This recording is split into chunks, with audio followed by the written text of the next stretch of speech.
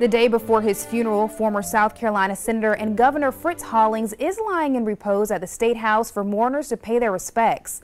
News 19's Jacob Reynolds is at the State House and joins us live. Yeah, that's all right.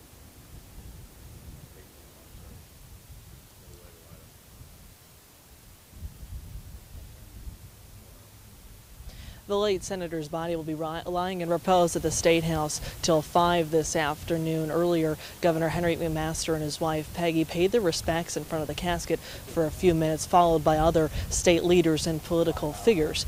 The governor's office is urging anyone willing and able to come pay their respects to the late Senator Fritz Hollings. Hollings was governor and senator here from the state of South Carolina for more than three decades, and during that time, he's remembered for ushering in the technical college system system, his work for those in poverty, and ushering in desegregation as one of his last speeches as governor. If you decide to come today, you'll want to use the public entrance on the north side of the building and head to the second floor lobby. The House and Senate here in South Carolina will not be in session until Wednesday in order to pay respect to the late Senator Fritz Hollings. Now, his funeral will be Tuesday at the Citadel at 11 a.m., and all flags at state owned buildings will be at half staff until Tuesday at sunset in his memory.